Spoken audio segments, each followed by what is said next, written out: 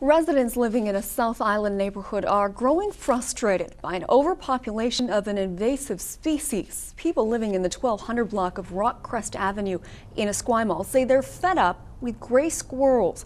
There's an overpopulation of them on their block, a direct result, they say, of one resident feeding the squirrels.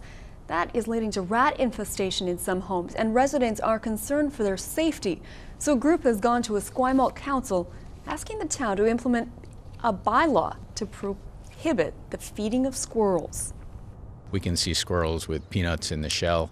Uh, and so this food source has uh, led to the squirrels uh, proliferating and also to rats in the neighborhood. Uh, neighbors have had property damage, and uh, we just feel that uh, we're not against squirrels, but we certainly don't want them to be fed. Let nature take its course. as long as they are fending for themselves in the natural environment. Um, there's a, maybe a few predators, maybe not, but the food supply will only maintain you know X number of squirrels. Let that be. Uh, if we start feeding them, and like that has been done, it's artificially enhancing the population. That's not right. I know other municipalities have a line in, in within their bylaws regarding things like deer, rabbits, geese. Um, we shouldn't be feeding squirrels anyway.